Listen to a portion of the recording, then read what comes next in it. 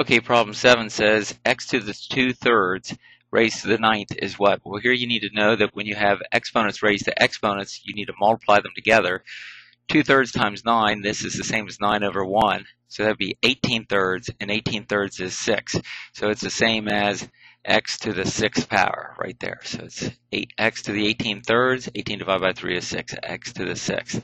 Okay, problem number 8 is to simplify 36xy squared minus 42x squared y over 6xy. You need to factor out the common factor on the top.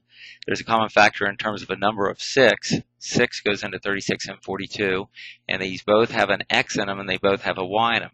If you factor out the 6xy or divide that out, we're left with an extra 6 and a y from the first term, and 6 goes into 42, 7, and we have an extra x on the top. On the bottom we have a 6xy, so these cross off, and so that's our answer right there, is just 6y minus 7x. On number 9 it says x equals 2y. Uh, simplify this expression right here.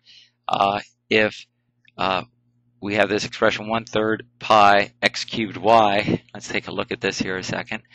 That's this problem here. What does the equation below simplify to when x equals 2y? We're substituting 2y in for the x right there. So if we do that, I'm substituting the, uh, going to substitute the 2y right in here for the x, and that would give me 1 third pi Substituting the 2y in for x, that would be 2y gets cubed times a y. Okay, that gives me 1 third pi 2y cubed. This whole thing gets cubed. So the 2 is cubed, that gives me 8. The y is cubed, and I have another y right here. Simplifying this, we'd have, well, I can pull this 8 out in front with that one third giving me eight thirds. I have a pi, and a y to the third times another y would be y to the fourth. That would be the answer to that problem.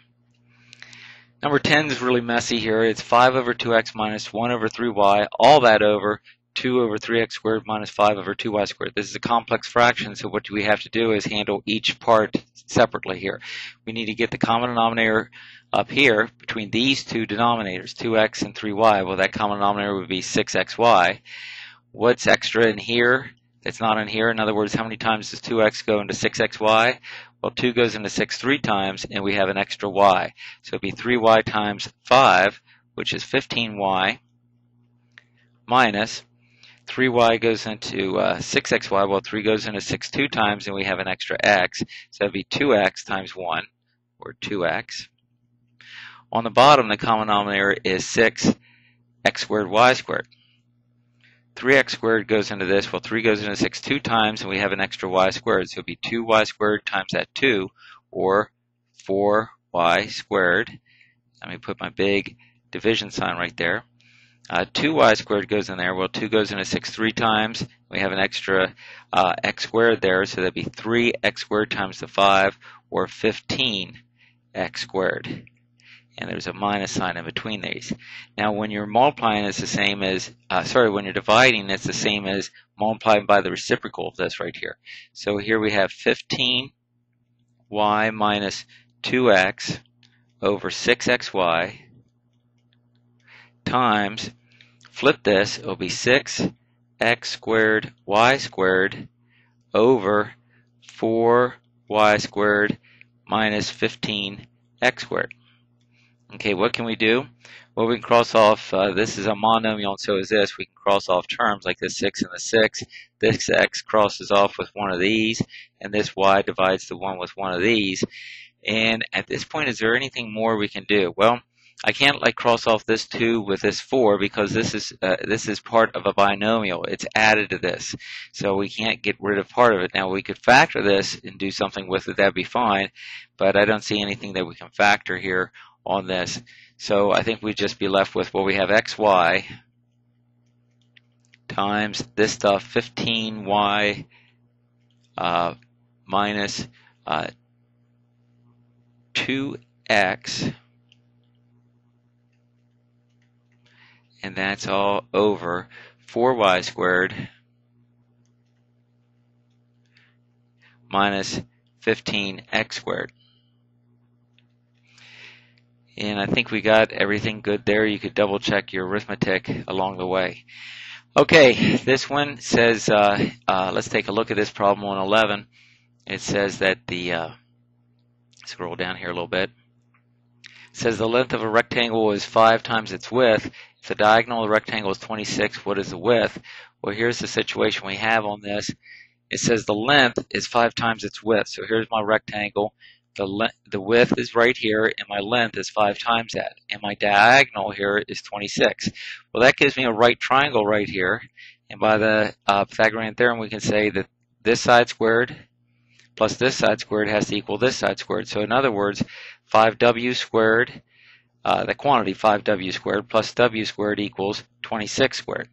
Well, 5w squared is 25w squared plus another w squared equals 26 squared. 5w plus 1w, 5w squared plus 1w squared is 26w squared equals 26 squared. Divide through by 26 and I get w squared, I'll write this here, w squared equals 26 squared over 26 will just be 26. So if w squared equals 26, take the square root of both sides and w would be the square root of 26. And that's what the answer is to that problem. Okay, the last problem, problem 12 on the EA section, uh, says this. Uh, says uh, Tara uh, made 8m plus 8m over p dollars working at McDonald's, and Joe made 2m minus 5 over p dollars. Lynn made 3 fourths as much as Tara. So in other words, we're going to have to take 3 fourths times this 8m over p. Then it says if they pool their money together, in other words, add all their money together, how much money will they have? So on this, I had to take Tara's amount, plus the next person's amount, plus it said, I think uh, Lynn or something like that made 3 fourths of what Tara made. So that's 3 fourths times the 8m over p. And then I have to add all these up.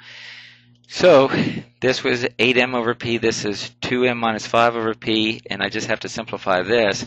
Uh, 4 goes into 8 two times, so that would be 6m over p.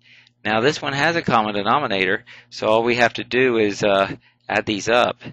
So 8m and 2m is 10m. 10m plus 6 more gives me 16m. And I have a minus 5 on the top over p.